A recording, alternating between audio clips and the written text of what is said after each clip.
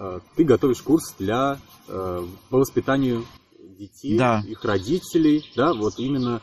Именно по, традиции. да, то есть позиции традиции, то, что может вот традиция подарить нам в сегодняшнем современном мире. То есть к нам обращаются десятки, сотни людей. У всех есть какие-то проблемы, да, ну или, как говорится, ненько хорошо, задачи, которые нужно решить.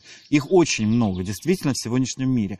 Нужно уметь оберечь свой свет, да, э, сохранить свое пространство, свой ладный настрой. Вот именно по тем, э, тому, что дает народная традиция, вот будет э, наш курс, э, который покажет, какие сказки нужно читать детям, какие песни петь, э, чего э, нужно опасаться в каких-то символах, потому что мы в 90-е годы уже сделали мощную работу о влиянии э, на психоэмоциональный потенциал подрастающего поколения образно-информационных структур. Это очень серьезная работа большого такого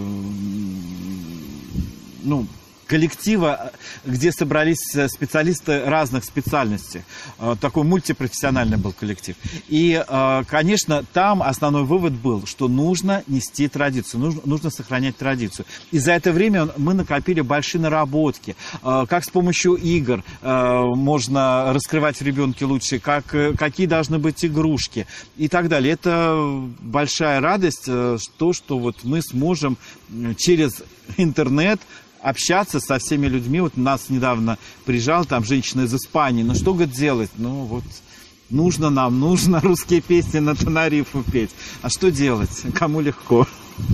В этом курсе будут и песни. И будут песни, конечно, и руны, и сказы. То есть, и это... как играть с детьми. И да? как играть с детьми, да. И как самое главное – воспитать в ребенке вот этот стержень мировоззренческий, который позволяет в нем пробудить радость к познанию окружающего мира. Когда весь мир для него, вот процесс познания будет большой радостью. Мы укажем ссылочки в описании к видео, по которым можно будет перейти и подробно ознакомиться с курсом. Да.